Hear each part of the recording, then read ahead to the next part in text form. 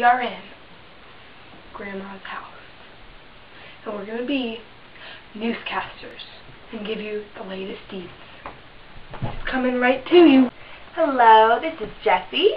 And Casey. And we've got some latest, latest news for you, everyone at YouTube. Okay. So, I've heard so much gossip this month, I just have to share it with you. Like, people cannot stop texting me about Chris and Rihanna.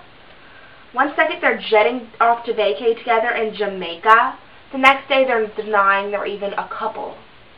Recently, the normally uber private Rihanna let slip about her love life.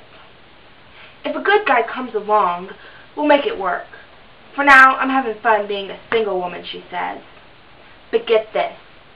Like a week after saying that, Chrianna was spotted kissing at a party in Paris.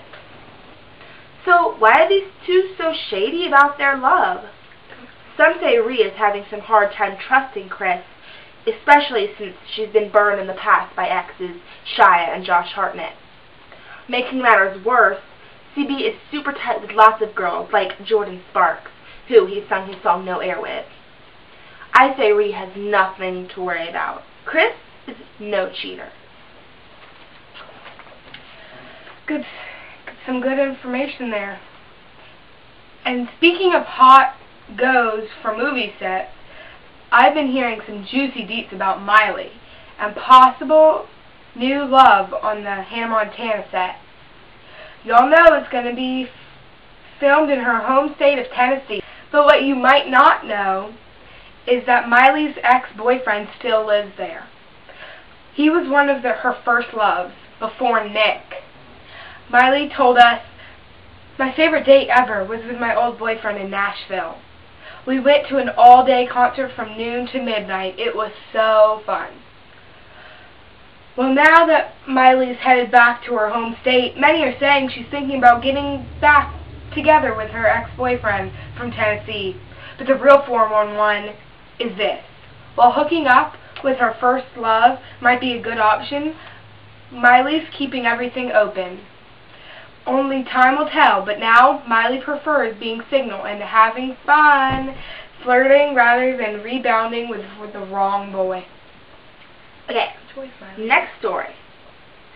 So, have any of you guys had a bud that you loved but spent, spent so much time together that they started to get on your last nerve? Have you? Yeah, I really have. Well, spies in LA are reporting that Ash and V are dealing with that drama right now. Why, you ask? Well, the buds are photographed together constantly, looking as if they've just been fighting. Some even worried that the BFF tension could put a strain on the cast of High School Musical 3. But no worries. Ashley says, It's just funny how people are always trying to turn me against Vanessa. We're so the opposite of what people say. We're friends, and like sisters. And get this. Not only are Ash and V neighbors in LA, but still tight buds are planning on living close together in Utah on during the set of High School Musical 3. Aww. So cute.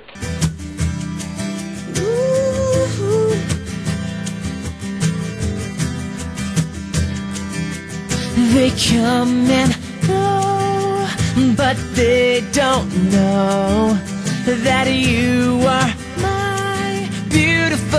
Oh, I try